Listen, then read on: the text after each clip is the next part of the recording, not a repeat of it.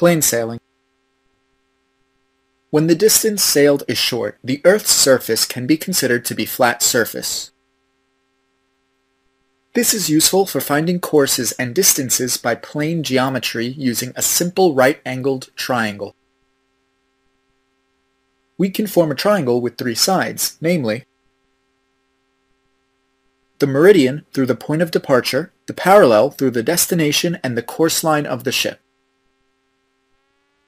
Now, the sailing triangle can be resolved using simple geometric formula without any appreciable error provided the distance of travel does not exceed 600 nautical miles.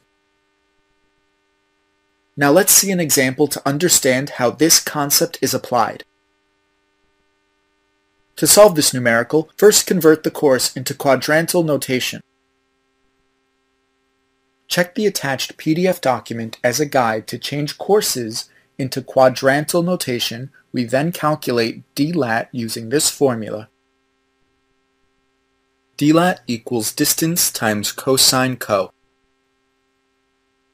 Substitute distance and course in the formula to get dlat. Now we use the dlat to get a middle lat. And final latitude as follows.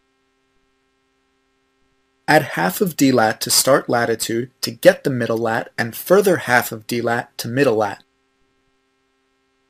To get the final latitude, now we can calculate departure using the formula. Departure equals distance times sine course. Substitute distance and course in the formula to get departure. Now we calculate d long using the formula d long equals departure times secant of mean lat, or d long equals departure over cosine of mean lat. Substitute departure and mean latitude in the formula to get d long. Now we add or subtract d long to the initial longitude to get the final longitude.